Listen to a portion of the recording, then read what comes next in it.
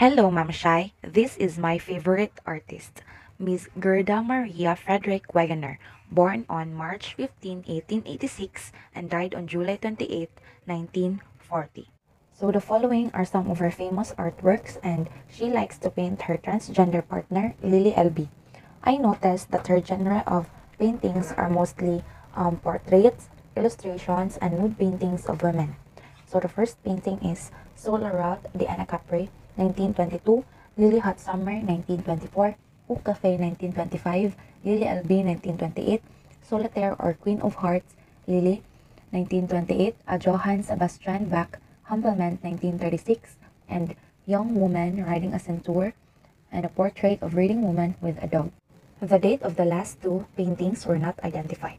So the following are also her artworks and the style Art Nouveau.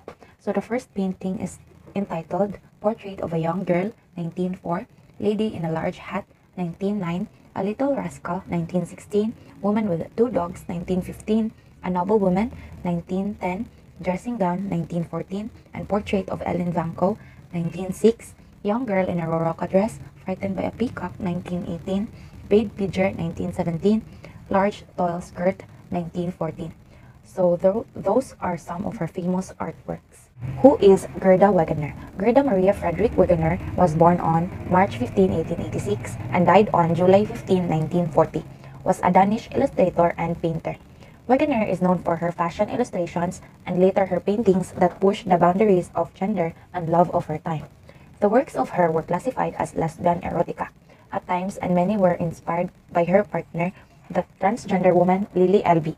Wegener employed these works in the styles of Art Nouveau and later Art Deco. Gottlieb was born in Hammelev, Denmark to Justin and Emil Gottlieb, a vicar in the Lutheran Church. Her father had Huguenot ancestry and her family was conservative. She had three siblings but was the only child to live to adulthood. She enjoyed art at a young age and began training. Her family moved to Hobro and later she moved to Copenhagen to pursue her education at the Royal Danish Academy of Fine Arts. Wegener's work was often of confident and elegant women performing a variety of activities in either a Renaissance-inspired style, Art Nouveau, or Art Deco style. The images tended to show women posing or participating in artistic endeavors such as theater, literature, and dance. Later on in France, Wegener created work showing women displaying seductive power or engaging in sexual activities. This risk art was considered lesbian erotica and published in illicit art books. Along with shifting how women are represented in art, Wegener also challenged gender and sex identity roles in her work. She did this in small ways, such as draw- drawing men with slender bodies and soft lines, or painting her transgender partner, Lili Elbe. Gottlieb's work was shown in the Charlottenborg Art Gallery in 1904, but she gained little attention for her work. Her career as an artist began to mobilize after graduating from the academy in 1907 and 1908, when she made appearances in the Politiken newspaper. She then was the center of controversy called the Peasant Painter Dispute after one of her 1906 works, Portrait of Ellen von Kohl, was rejected from the exhibitions of Den Frie Udstilling and Charlotte Denberg, due to the style of the piece. This piece caused concerns of Italian Renaissance, plagiarism, and split opinions of it, showing a weak individual or an elegant, beautiful woman. Gottlieb never got involved in the debate. The portrait was displayed by Winkel and Magnussen's art dealership and received attention that boosted her career as an artist. Wegener won two sketching competitions in the Politiken newspaper. One was in 1908 and another in 1909 for best capturing Copenhagen women and then the figures of the street.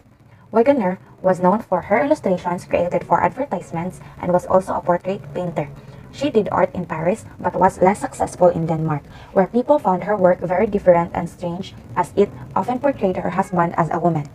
In 1912, Wegener and her partner Lili Elbe moved to Paris, France. In Paris, Wegener began to push the boundaries in her artwork by creating more provocative um, paintings of women engaging in sexual activities and seductive pos- positions.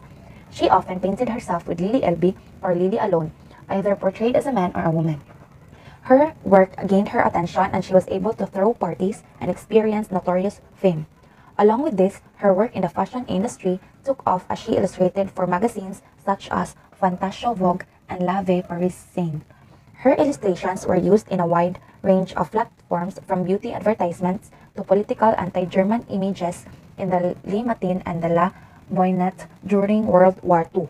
In 1925, she won two gold medals and a bronze for her artwork in competition at the very famous 1925 World Fair in Paris.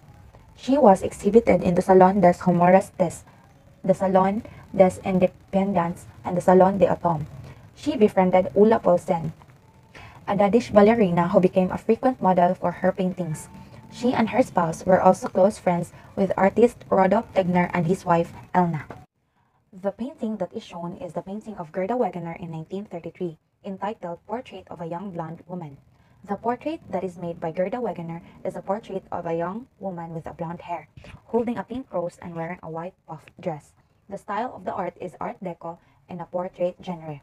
The woman in the art is surrounded by flowers, and it appeals to me that the woman is also a flower, for she is beautiful, elegant, pure, and so feminine. Among all the artists from the ancient time to Art Nouveau, I chose Gerda Wegener. Gerda Wegener did not become successful overnight, and even her artworks was not appreciated in Denmark, where people found her work very different and strange as she often portrayed her husband as a woman. She is less successful in Denmark. I love how Gerda Wegener loved her partner Lili Elbe, even if everyone is against them at the time, and how she continued her passion for arts in Paris in 1912. She gained attention for her artworks and along that, her work in fashion industry took off and from that day she didn't suffer again. Wegener's perseverance and patience is something I will admire forever and I will definitely try to apply it in life. The artworks of Gerda Wegener connects with my human emotion as a woman. When I look at her works, I feel happy seeing how women can be so beautiful and attractive.